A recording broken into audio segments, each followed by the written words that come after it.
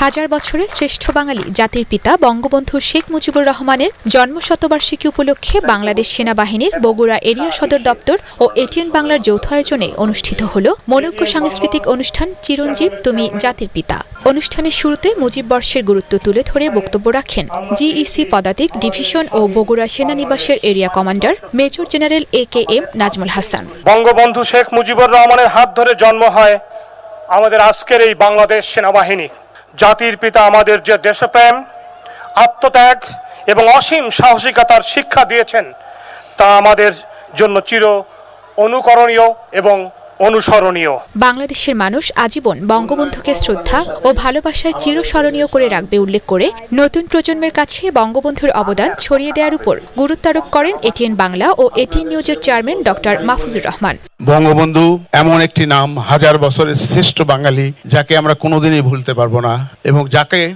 আমরা মন প্রাণ দিয়ে শ্রদ্ধা করি ভালোবাসি। আপনারা যে যেই দলেরই হোক- হন না কেন আমি আপনাদের কাছে আমার অনুরোধ করব, বঙ্গবন্ধুকে শ্রদ্ধা করা শিখেন। যদি শ্রদ্ধা করতে পারেন, তাহলেই আপনারা বাংলাদেশকে ভালোবাসতে শিখবেন। উনিশশো পঁচাত্তর সালে তাকে নির্মমভাবে হত্যা করে।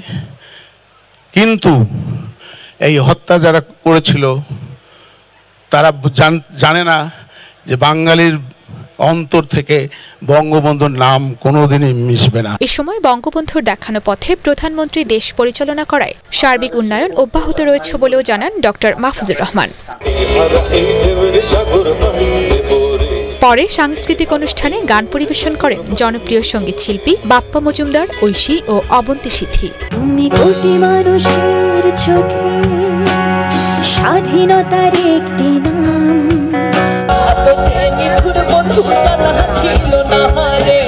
জমকালো আয়োজনের ফাঁকি চলে নৃত্য পরিবেশনা।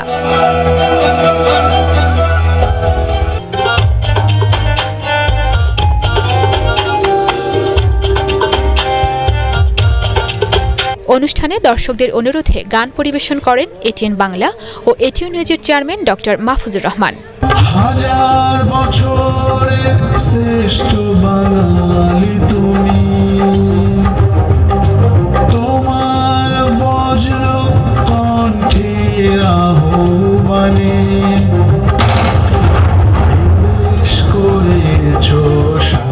ইশরাত লিমা এটিএন বাংলা।